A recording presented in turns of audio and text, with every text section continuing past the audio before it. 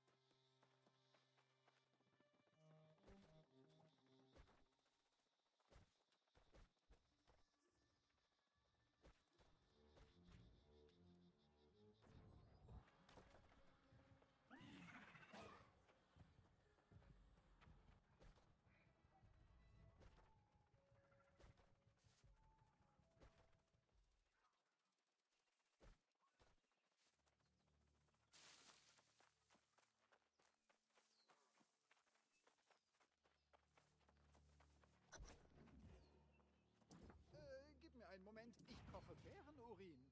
Ich wollte ein Mitglied des